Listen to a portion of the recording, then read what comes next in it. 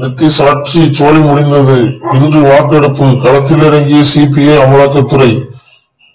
கதறல் ஆரம்பம். அதாவது பாத்தீங்கன்னா நிதிஷ்குமார் ஆட்சி சோழி முடிஞ்சுதான் சொல்லணும் இன்னைக்குதான் நம்பிக்கை வாக்கெடுப்பு நடத்துனாங்களா? ஆனா பாத்தீங்கன்னா இன்றைய தினத்துல களத்தில் இறங்கியிருக்காங்க சிபிஐ அமலாக்கத்துறை எல்லாமே. இதனால பாத்தீங்கன்னா நிதிஷ் மட்டும் இல்ல இது வந்து அதிகமா கதை இருக்குது யாருன்னு கேட்டீங்கன்னா இன்னைக்கு வந்து இவரு நம்ம லல்லு பிரசாத் யாதவ் மகன். அவர் தான் கத்திருக்கார் தேஜஸ்வி யாதவ். ஏன்னா அவங்க எம்எல்ஏக்கள் அவங்க எம்பிக்கள் வீட்டுல தான் ரைடே விட்டுருக்காங்க இன்றைக்கு.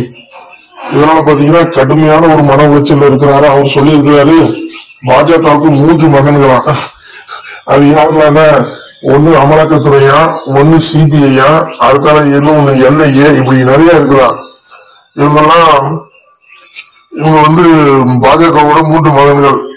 எங்கேயாவது பிரச்சனை இவங்களை இறக்கிடுவாங்க அப்படின்னு. ஆமா ஐயா உன்னை உன்னை பேர் ஊழல்வாதிகள் எல்லாம் தலை அவங்க தான் வரணும். உங்க அப்பா இல்ல பெரிய செய்யாமணி ஒழுக்க செய்யாமணி அவரு ஊழல் இந்த ஊழல் ஜெயில சிறை தண்டனை இருக்கணும் முடியல கூட.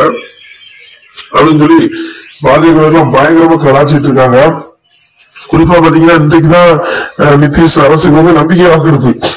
பாவம் நம்பிக்கை வாக்கு வாக்கெடுப்பு நடக்குமா நடக்காதே தெரியல. அந்த லெவல்ல இன்னைக்கு என்ன நடக்க போகுதுன்னே தெரியல. பீகார் அரசியல் பாத்தீங்கன்னா ஒரு பரபரப்பு பற்றிக்கிச்சு இதனால பாத்தீங்கன்னா நிதிஷ் ஆட்டம் சோழி முடிஞ்சது.